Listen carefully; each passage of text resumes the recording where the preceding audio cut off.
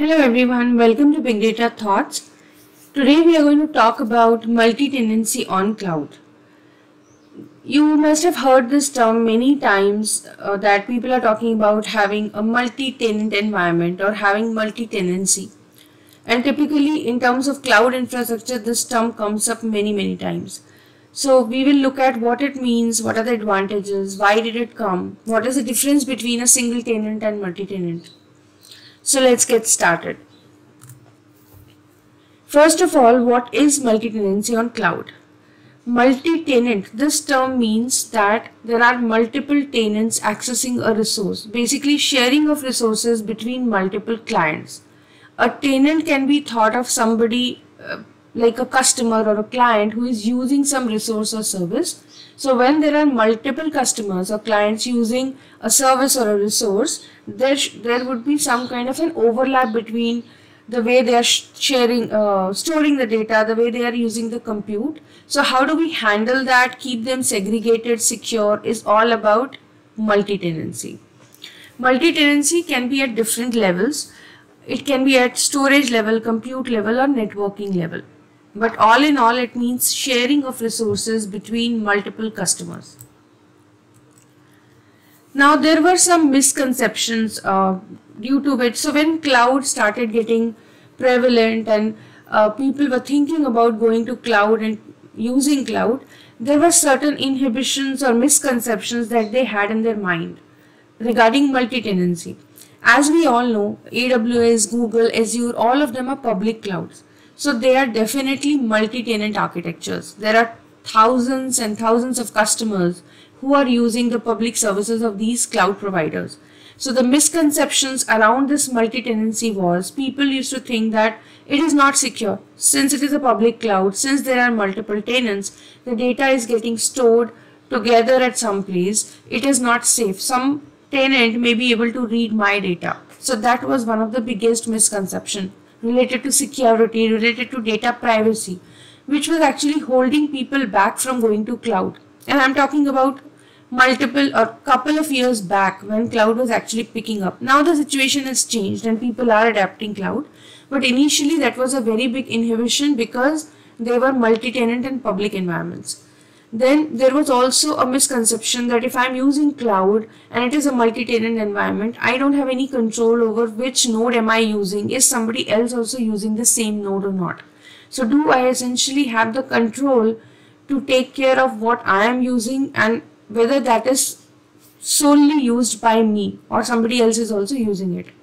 And all in all, all of these factors actually uh, slowed down the adoption rate of cloud but eventually it picked up and then it could be proved that even if it is a multi-tenant environment, the architecture is designed in such a way that there is a segregation at the data level, network level, compute level. And there are multiple features that each cloud vendor provides, like virtual networks, etc., dedicated um, pathways to connect to on-prem and all of that. But it took some time to reach there. So this is some background of what were the misconceptions that people had while going to cloud due to multi-tenancy. Now let us first talk about single tenant and the challenges so, so that we can appreciate why multi-tenancy is important or how it is handled. So what does single tenancy mean? It means there is a single tenant who is using a single compute, dedicated compute node. It's a 101 mapping, which means you have a tenant who has a dedicated compute resource. I'm talking about compute here, same goes with storage and networking, right? In single tenant, uh, the way it was working was that the a particular tenant is tied to a particular compute node. The compute node knows the tenant and they have a relationship. So it's a 101 mapping. And essentially when there is a 101 mapping, which means it is stateful, it has to be stateful because one tenant is uh, accessing one compute node. So it is a stateful kind of a interaction. Now this will work well if we are having a very small setup with handful of tenants. But when we are talking about infrastructures where or cloud vendors or situations where there are tons of users, thousands of users, this kind of a setup becomes complicated. And there are a lot of disadvantages that come with it. For example, outages. Now, if a customer is tied to a particular compute, if there is an outage, the customer has to wait till that node comes up or till we can enable that compute again. So at the time of outages, there is a problem. If there are upgrades to be done and there are thousands of customers with each of their dedicated computes, we have to take care about a maintenance window for each of them and then do the upgrades. So it becomes a it, it becomes a bottleneck. There is a time that it takes. Scaling becomes difficult because now we are not scaling based on usage. We are scaling based on the user. A user is tied to a compute. So if I have to scale, I'm scaling that user. So scale, it's not a horizontal scale. So when number of users increase, then this kind of a scaling becomes problematic. So even though single tenancy is simpler, it seems secure to people. It is less hassle in terms of architecture or kind of maintaining that storage compute network isolation but it has disadvantages of scaling not scaling of outages and upgrades. Now what came in? To overcome this problem what came in is multi-tenant environments. Where you have multiple users they are sharing a compute which means they are not tied to a particular compute. They can uh, access any compute. So any tenant can access any compute. They can access one compute can be accessed by multiple tenants and those tenants can access any computes. There is no tie-up between compute and the tenant. Hence, obviously, this is a stateless architecture, much, much easier to handle lesser overheads. Advantages are you can horizontally scale based on usage now. You are not tied to, uh, to you're not tying one tenant to a compute outage recovery is very very easy because you're not tied to a compute. You can be redirected or redirected to a different compute when there is an outage. It can be a zero downtime upgrade. We can spin up another compute upgraded one and then point the user to that. So all in all this becomes extremely easy in terms of scaling outage recovery zero downtime upgrades. But the problem here is it's a uh, much more complicated architecture to maintain rather than single tenancy because now you have to take care of all of those segregations at different levels for each of the tenant. So that's how the single and multi-tenant environments differ. So simply put, if we have to talk about a multi-tenant environment, think about it as a bank locker room which has multiple lockers.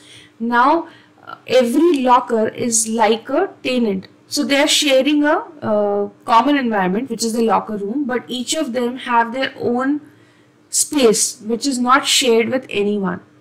So some of the things are shared, which is your locker room, but each locker is dedicated to a particular customer who has the key to open the locker.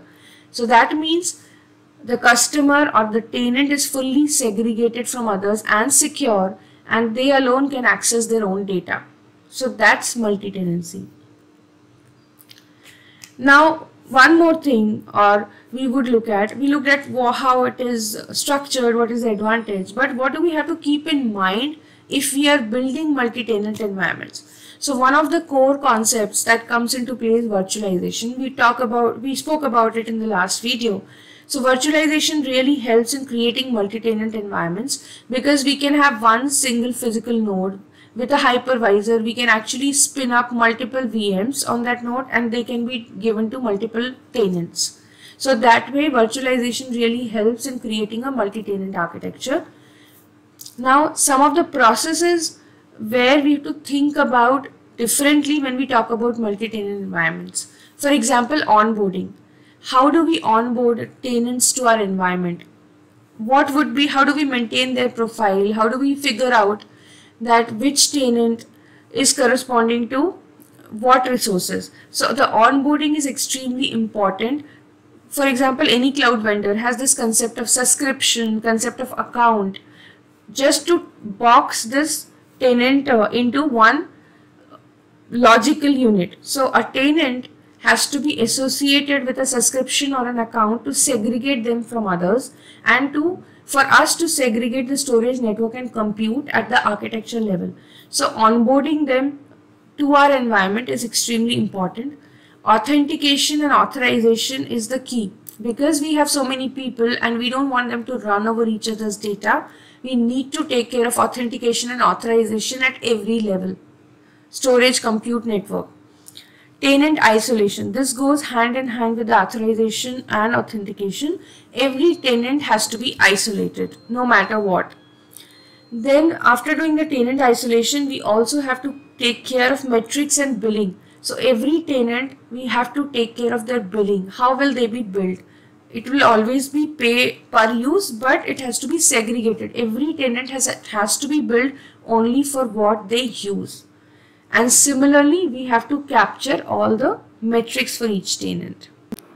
The metrics for each tenant has to be tracked and captured. Uh, so this is more like uh, whatever usage they are doing, what what is happening on the ground with each of the resource, what are the requests that are being made. All of those metrics or telemetry needs to be captured for each of the tenant. So this is all about what needs to be done for multi-tenant architectures, how they are useful or what it is. I hope this video helps you to get a basic understanding of what multi-tenant architectures are. Thanks for listening in. Please uh, do like, share and subscribe to the channel for more interesting videos. Thank you so much.